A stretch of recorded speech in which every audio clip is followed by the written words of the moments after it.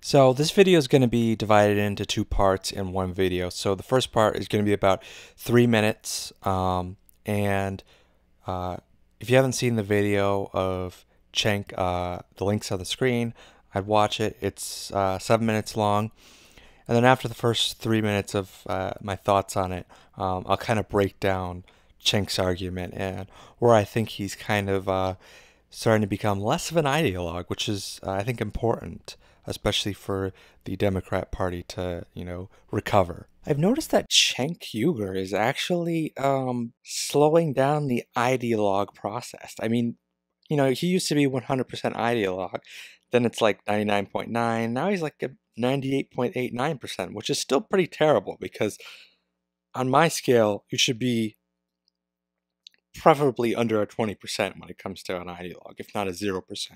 I'm sure people will have their own scales, but this video where he uh, defends in part Trump's so called Muslim ban, and he says that the logic behind it and the authority of it is perfectly legal and whatnot, um, in a way. And I find it interesting because, you know, this is one of his videos where know it's just uh, you know it's just him and his iphone and the background and you know you don't have Ana Kasparian and the uh, the rest of the tyt gang um, in the background. So i'm wondering if he's a self-aware you know if Cenk Uygur is self-aware um, that a lot of the rhetoric on the left is just like complete ideologue ideologue bullshit. I mean, I wonder if he, I wonder if like six months from now, a year, whatever, or you know, halfway through Trump's term, or maybe if he has a second term, he'll be, he'll, you know, scale it back a little bit more. I mean, he'll scale it back, but I wonder if he realizes the responsibility of the media to fairly report, um, you know, the news and you know stuff regarding our country and politics and whatnot because it seems like he he is um, because this is the second video that I've watched that really caught me off guard. So I'll put a link to Cenk's video, um, the most recent one he did where he defended Trump's ban in part, and um, the previous one that I mentioned, as well as any other ones that I come across. Um, but I like to give credit where credit is due because we are not going to win the so called culture war by just keeping our boot on the left and saying, ha ha ha, you lost, you're wrong, wrong, wrong, wrong. Uh, people don't respond to that, so I like to give credit where credit is due, you know, you know, have some common ground and whatnot. So I thought I'd just bring that up because I find it very interesting, and I'm hoping someone else on YouTube, uh, maybe some classical liberals will find it interesting. I know more conservatives probably won't, which I hope I'm wrong about, but you know, it's TYT, so you know the hatred for it is pretty strong and justified. But you know, again, I like to give credit where credit is due. So I was just going to do a short critique, but uh, I ended up uh, wanting to make a few points on a bunch of stuff he said. So kind of pause and talk, and then and then let it play. Um, and I'm going to be critical, but I'm also going to show the good points. Sense of Donald Trump's case in court on his travel ban in a second. But I don't want anybody to get confused about my position on the travel ban. Yeah, Cenk, I don't really think anybody would get confused. You don't you don't have to virtue signal too much. Just uh, you know, keep talking. It's horrific. I like how he says it's horrific very dramatically. it's just a little bit hyperbolic to me. Um, horrific would be something like uh, I don't know, actual human rights violations. But anyways. So uh, let's separate out what my thoughts are on policy versus what my thoughts are on his court case. So uh, first of all, the travel ban is a Muslim ban. Okay, let's just keep it real. This is actually a good start because he's looking at it from, you know, a not just a personal opinion and policy perspective, but you know, kind of like a, a legalist opinion. And he's he's doing really well until he throws in it's a Muslim ban, which it's not. But um, but he's really trying here, guys. So. So now I'm not the guy saying that. Donald Trump was the guy saying that during the campaign. He said repeatedly, over and over again, "It's a Muslim ban. It's a complete and total shutdown of Muslims." Uh, yeah, that's great, but he didn't say that in court or in the executive order. Uh, you can't go back in time and you know put the statements in court, despite what the uh, Ninth Circus thinks. And is it effective and is it necessary? Of course not, as many people have told you a thousand times, including us. Uh, the seven countries that he banned have had a total of zero uh, fatal attacks inside the United States in the last 40 years. So it is demagoguing 101. It is clearly intended for religious purposes. He says that Christians should be prioritized. Clearly a Muslim ban.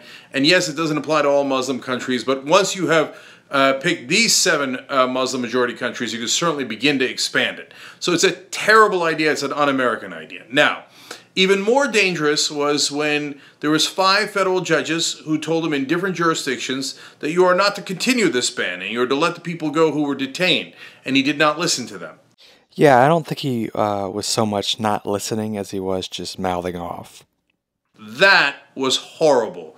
That could have been a constitutional crisis. That is worse than the original travel ban in the so I'm just sort of gonna fast forward through all this stuff because there's a lot of opinion. I mean, half the video is opinion, but the little bit of gold is what I want to shine on. Let's go to the heart of the issue that I brought up in the first place, and hence my slight defense, which is now some folks in the media are saying Trump saying in court that uh, that the executive branch should get to decide immigration policy and not the judicial branch is crazy talk. I can't believe it. He thinks there shouldn't be any judicial review. Yeah, I don't think he's claiming there shouldn't be judicial review. I think he's probably just claiming the judiciary branch is being obstructionist and they're not on solid legal ground where he is. But um, that's just a minor critique, and let's get to the juice. On the other hand, if a president says, hey, you know what, I think there's a specific threat coming from a country, whether Yemen or Norway, it doesn't matter.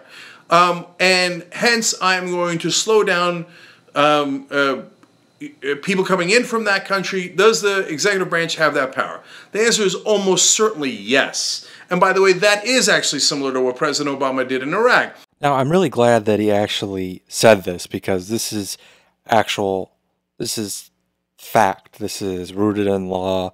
The executive branch uh, is in charge of enforcing uh, U.S. code, uh, defending the United States against uh, threats, uh, foreign and domestic, uh, and border security falls under that purview. Hence why the Department of Homeland Security, Department of Justice are under the executive branch. He slowed down immigration from uh, Iraq for six months while they pursued a specific threat of people who had entered the country. No, there was no Bowling Green massacre, but yes, there were two guys that worked on roadside bombs. They came in from Iraq and were in Kentucky. And so that was a specific threat that they were talking about. So the Obama administration, on that specific issue, asked for and received leeway in deciding what our immigration policy is. So now, as you can see, that's a sliding scale. That's a, a gray issue. It's not a black and white issue.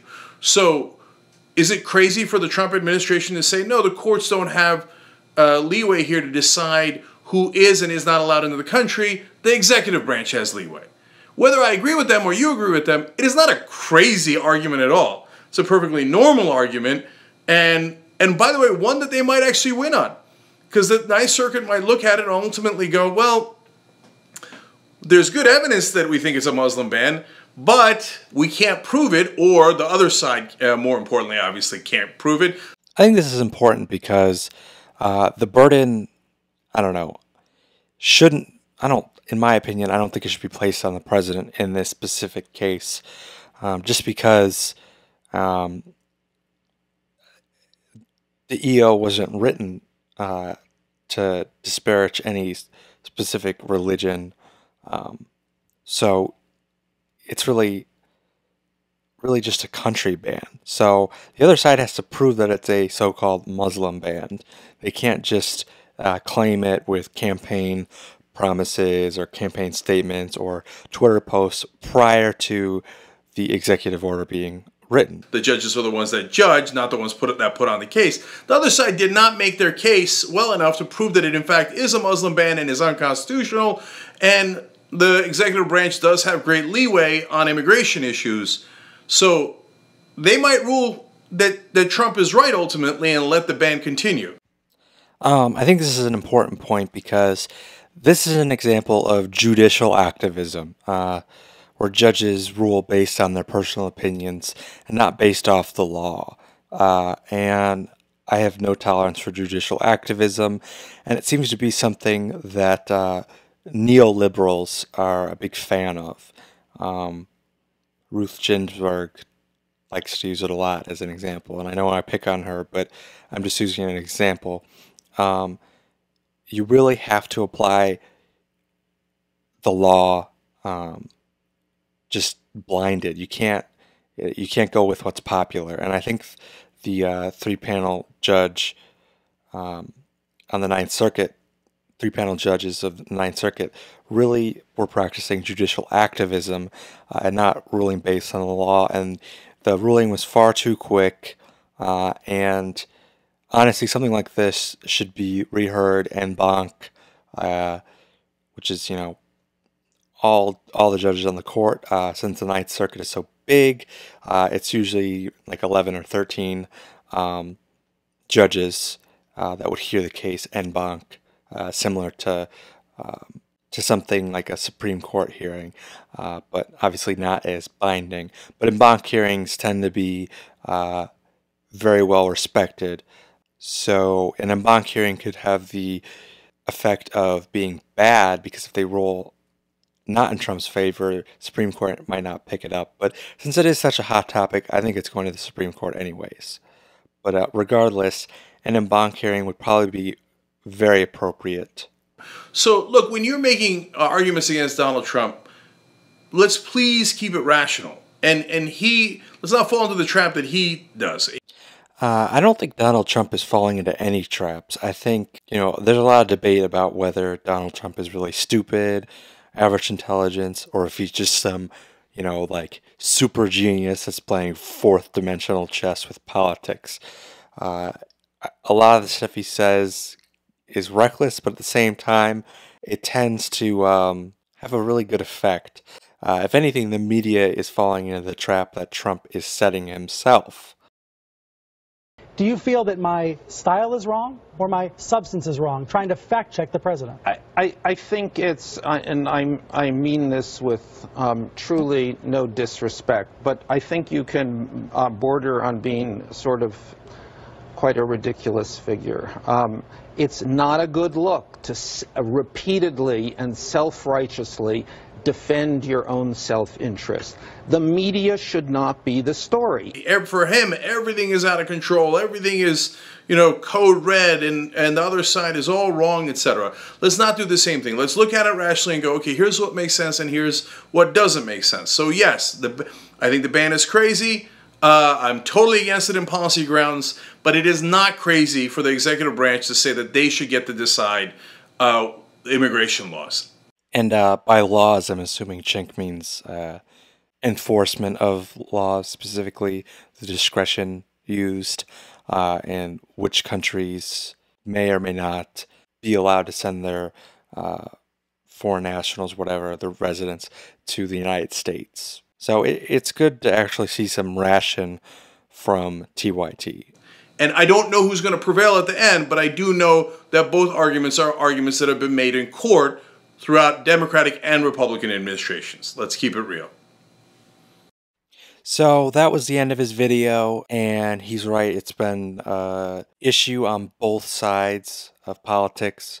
And I think another thing that a lot of people probably overlook is that uh, it's it's good to score political points with something like this as an attorney. One thing that I noticed uh, with the uh, Washington State and the Minnesota State uh, Attorney General and Solicitor General's office. When they prevailed at the district court level and I believe the circuit level, um, they took like an acceptance speech, like they're at the Grammys or something. And um, that publicity is always good for attorneys. And you'll notice that the attorneys are pretty young. Um, so that's that's a way to get looked at. Um, particularly a little bit off topic, but solicitor generals are usually most states usually don't have a dedicated SG's office, um, but it's kind of a growing trend, and SGs tend to be younger, uh, and they tend to um, come and go a lot faster than an attorney general. So that's one thing I noticed. So there's definitely a political point scoring element involved in this. And I also find it interesting that the two states involved, Washington State and Minnesota, both had, uh, you know, terror attacks from foreign nationals or people that immigrated from foreign countries and became uh, U.S. residents or even U.S. citizens. It's kind of like Europe, where they just run to um, defend, uh, you know, Islam and whatnot, and immigration and whatnot, even after all these attacks.